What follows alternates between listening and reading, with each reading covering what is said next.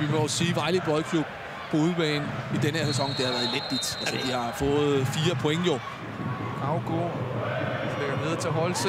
Og der er ikke offside. Stor mulighed her til Esbjerg. Der er i sidenettet. Kæmpe chance til Juri Jakovenko. Der kommer han ind. Han har et frit skud her, og så høvler han den bare. Jeg, hvis ikke den tager st- stiverne ind, så ryger den jo over tribunen næsten der.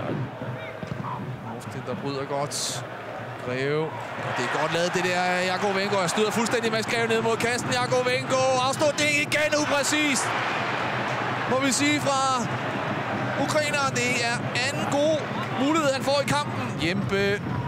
Ja. Godt af en Jempe. Skaber sig pladsen. Hårdt indlæg, og det er kort under mål. Der var det tæt på. Igen. Godt opspiller. Der ligger altså Bajser inde i feltet og ømmer sig. Jeg tror så også, øh, kan vi se her. Lidt med Thomas Halisk her. Kan vi se Bajser, der bliver kørt væk her. Fremragende mulighed, måske nu til Vejle. Chance over. her. Og hvad mere? Det lugter af straffespark. Og det får de også. Vejle. Ja, ja, der er ikke så meget tvivl. Sosa. Og han scorer. 1-0 til gæsterne. Scorer sit syvende mål i sæsonen, og det er absolut det vigtigste, det han scorer her. I den position. Det er godt hjørnespark, der kommer fra Esbjerg. Til Michael Johansen må du sige, han har ikke. Så Og så er mulighed her måske, og så er der offside. Der er offside. Prøv at se det igen her. Det er interessant at se, hvem der får lagt bolden videre. Her er der ikke offside. Der er ikke offside. Så er det her. Der er mål. Der er der mål. Der er der mål. Der er mål. Der er mål. Og det er også helt korrekt. Ja.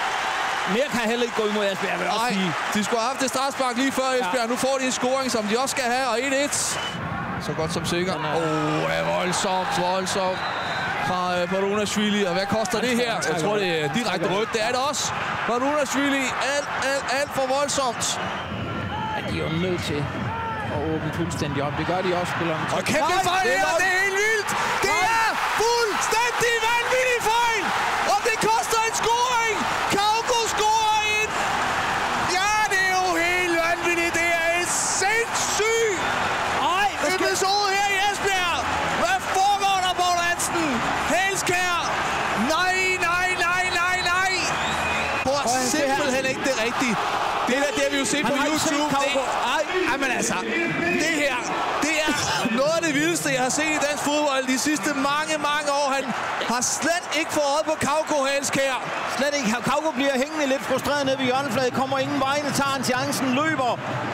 Åh oh, nej, jeg har ikke set noget det lige siden altså, øh, prøv at høre. Henrik Christ, 14. plads, som gør, at de næsten... Og det er slut!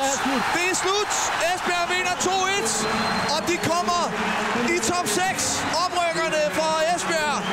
En vanvittig kamp, vi har været videre til. Paul, det har ikke været en stor fodboldkamp, men hvilket drama